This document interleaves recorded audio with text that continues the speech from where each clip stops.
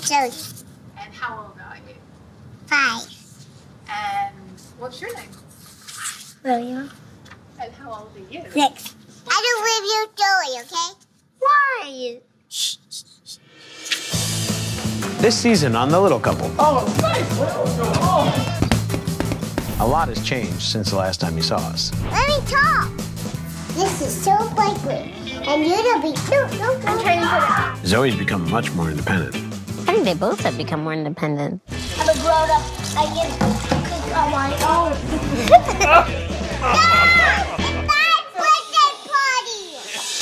This year will be our first big international trip with the kids. We're traveling through London and Scotland. Sorry, I need to bow to you, princess.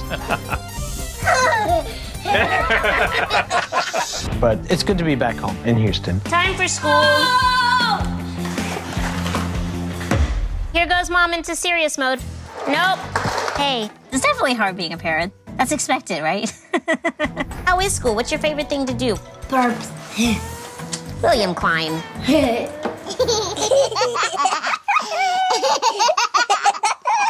Welcome to parenthood. I have dwarfism, which makes me shorter than others. Daddy, somebody called me a baby in karate. I can't stand seeing my kids in pain at all. So he has bowing and internal tibial torsion. I don't want my kids to ever need surgery. Do you want to look at an x-ray? Yeah, sure. I want them to lead a healthy, happy life. Okay? It's my kid's first opportunity to ever play in the snow. Now it's, let's go.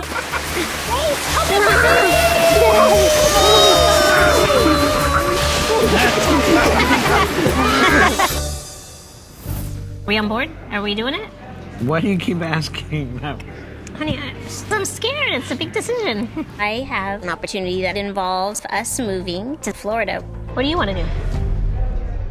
And so Monday and Wednesday and to Friday and to later it'll be um, Thanksgiving. He's off sleeping Mooney and her phone. She's a doctor.